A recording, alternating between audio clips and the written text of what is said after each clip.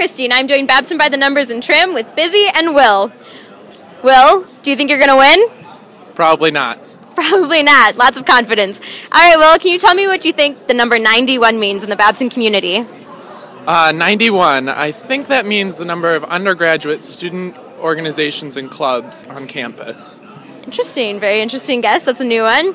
Um, the next number is 315. What do you think that means? This one was the one that stumped me the most, I think, but I would have to go with faculty members that are full time on campus. Okay, Full time faculty members. Yeah, sure. Are you, are you confident in that? Definitely not. Biz, what do you think? Yes, no? Hmm, maybe, maybe, don't know. All right, we'll go on to the next one. 6,000. Uh, I think that's the number of students who applied to be a part of the Babson class of 2017. That's a great answer. We've gotten that a lot today. That one, that one, do you feel good about that one? A lot better about the other than the other two. Definitely. The next number is 27,500. I think this is the number of community service hours logged by Babson students in a given year. Wonderful. Are you, did you contribute to that? Uh, yes, I did, of course. Of course, of course. Good for you. What a, what a good man.